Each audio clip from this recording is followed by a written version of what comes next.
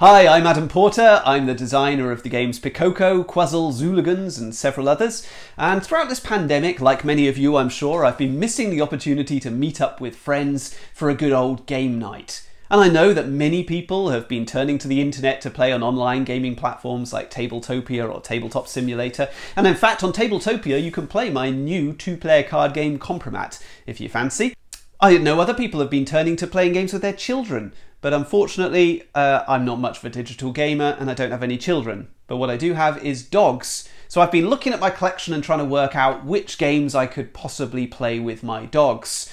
Now, alas, unlike the average five year old human child, our dog struggled with the complexities of Scythe, and even My Little Scythe was a stretch. So I've had to venture out into the unfamiliar world of board games designed for dogs. Now, trigger warning here, I'm going to be showing you something that might be quite unsettling for you if you like to keep your cardboard components, your snacks, and saliva very much apart. If there was any justice in the world, and if it existed, then Trixie's Flipboard would win the Hundspiel des Jahres, which would be awarded seven times in every human year. A classic Euro, as you can tell by the German writing on the box, this one's a point salad game. In Flipboard, you get to explore a myriad of different strategies, pulling different levers and pushing cubes, or treats, around the board. Of course, it doesn't really matter which strategy your dog chooses because they all dish out copious victory points, or treats. The aspect of lifting components to reveal what's underneath is borrowed directly from the Blue Orange classic Gobblet, but Trixie's general approach is much more along Alea lines. Affordable, less than a tenner, with fantastic mechanisms, but it ain't pretty. This game from Chinese company Adogo is essentially a streamlined version of the same game with an updated aesthetic. If Flipboard is Azul, then this one is Azul Summer Pavilion. This iteration features a central rondel mechanism, clearly inspired by Mac Gerdts' Navigador or Imperial. It's a slightly less challenging game than Flipboard, ideal for a slightly more intellectually challenged canine like our Whippet Fawn. It's my hope that the European release of this game will have a slightly less minimalistic box and a slightly less literal name. Alas, for now, the publisher Adogo has taken their lead, no pun intended, from NSV, the creative team behind the factually accurate moniker of 2015's The Game.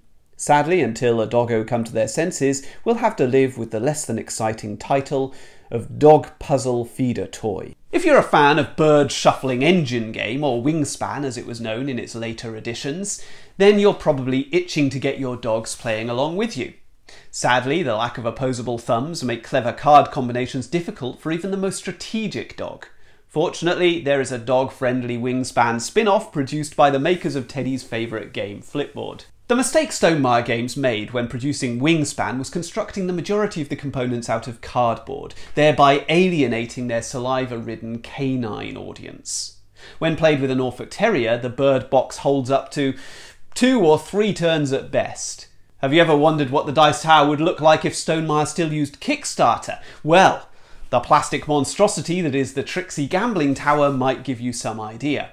Bulky, it's imposing, with callbacks to Kerplunk, 1967's answer to Potion Explosion. The gambling tower is impressive in the challenge that it presents to the average terrier. There's no doubt that this is for expert doggos only, and as such falls into the kennel spiel category. With Pet Activity Centre, we're very much at the other end of the spectrum.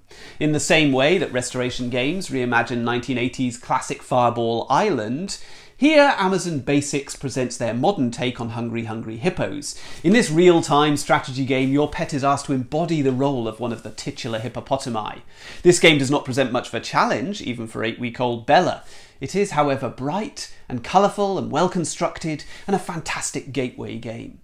We've used it to try and entice Fawn into utilising her well-practiced nose strategy in other games, such as the aforementioned Flipboard and Dog Puzzle Feeder Toy. If ever there was a board game which looks like a dog toy while also representing a significant choking hazard for dogs, it's Blue Orange's Dr. Eureka. Players race to tip coloured balls out of test tubes in order to match the arrangement on the puzzle cards. It's a tough little logic puzzle with a dexterity element, and Teddy isn't naturally driven by logic. He's a thinker, for sure, but his thoughts tend to be focused less on logical deduction, more on squirrels and other garden invaders. But scrap the fiddly puzzle cards and you're still left with a delightful spin-off puzzle for dogs. The nose strategy isn't going to get you very far in Turnaround from Trixie. This one's all about the paws. And while Teddy sits back and contemplates his strategy, baby Bella's more inclined to get stuck in and see what happens. She's like a furry version of those irritating folk who say, shall we just start playing two minutes into a 30 minutes rules explanation? There's no doubt that Swedish designer Nina Ottosson is the days of wonder of the dog board game world. Her products scream quality, but they come at a premium. Here we're in the 20 to 30 pound bracket, but the variety of products is fantastic. My dogs love Dog Brick, it's another very literal name for a product, but no weirder than some of the titles in my human game collection.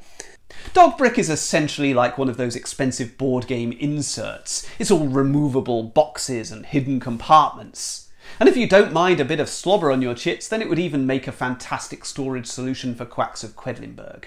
Of course, you may be new to the world of board gaming with dogs, in which case you might not want to splash out human cash just yet on these games without first tentatively dipping your toe into the water. But not to worry, there are print and play versions available. And in fact, the good news is that this game doesn't even require a printer, just a trip to the recycling bin. Some gamers will be sad to hear that rather like Pandemic Legacy, this particular game is once and done. You might be able to scrape together a second game from the same components, but you wouldn't want to pass it on as a gift. Or, you know, trade it in a maths trade. But Lidl's 9 pack is good value, and for all its limitations, you certainly couldn't call this game overproduced. Besides, every serious canine gamer knows that quality gameplay is far more important than fancy artwork and plastic components. I hope this video has given you some inspiration to revive your lagging game nights. If you enjoyed it, please check out some of my other videos on my channel on uh, YouTube. I'm Adam's Board Game Wales. On uh, Board Game Geek, I'm Adam78. And on Twitter, I'm at Board Game Wales. Thank you very much for watching. All the best.